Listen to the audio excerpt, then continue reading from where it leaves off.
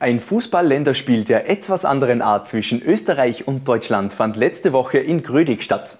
Organisiert von der Sport Business International Agentur von Toni Pichler standen sich die derzeit vertragslosen Profifußballer beider Länder gegenüber. Eine gute Möglichkeit, sich vor interessierten Spielervermittlern zu präsentieren. Rund 300 Zuseher waren gekommen, um die beiden Teams lautstark zu unterstützen.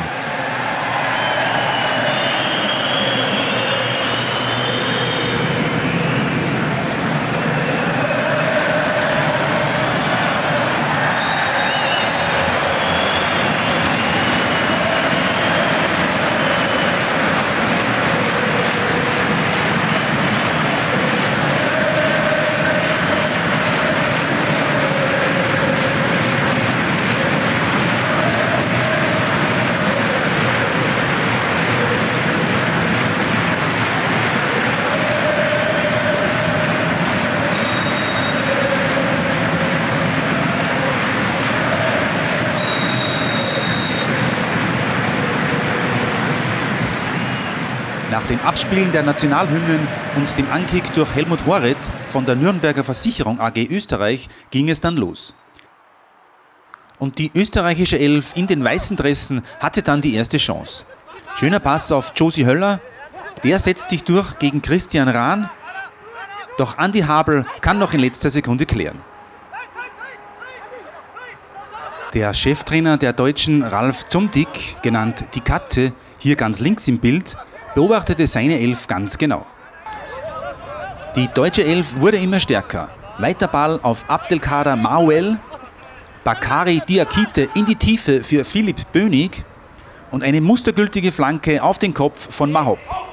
Doch der vom deutschen Team ausgeliehene Schlussmann Rufen Sattelmeier verhindert mit einer Glanzparade das 1 zu 0 der Gäste. Nur zwei Minuten später Freistoß für die VDV, der ehemalige A-Nationalspieler Christian Rahn tritt an und wieder eine tolle Abwehr des deutschen Schlussmanns im österreichischen Tor. Mit 0 zu 0 ging es in die Kabinen.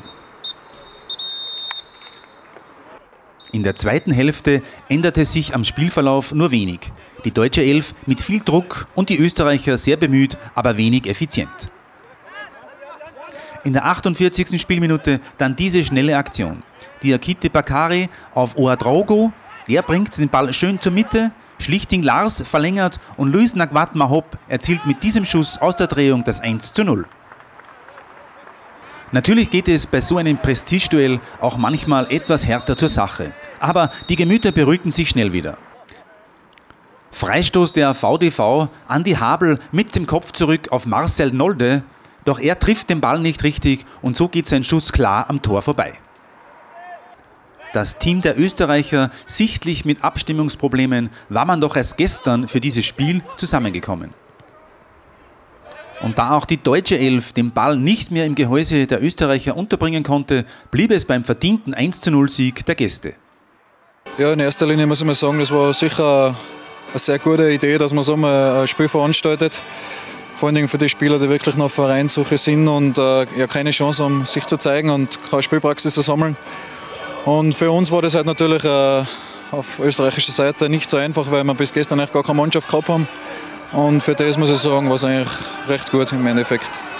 Ja, die Protected-Gruppe ist selber sehr sportaffin und äh, wir unterstützen gern solche Veranstaltungen auch mit so einer Tragweite, wie es die Sportbusiness international äh, betreibt. Äh, und äh, Fahnenführung, sage ich jetzt mal, vom, vom Bichler Toni. Äh, wir waren da schon im Haus des Sports, wir, waren schon, äh, wir haben schon Fußball fahren in, im, gemeinsam im FC Basel, äh, in, im, beim HSV rum, äh, haben wir mit unterstützt und da sind wir sehr, sehr gern mit dabei.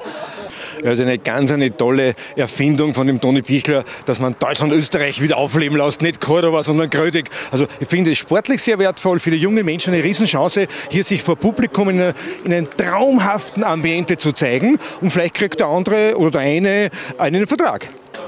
Ja, wir haben jetzt in den letzten drei Tagen äh, die Sport-Business-Tage gehabt von unserer Plattform Sport Business International. Das sind Diskussionsplattformen, wo der Sport in seinen wirtschaftlichen Bedeutungen näher gezeigt wird.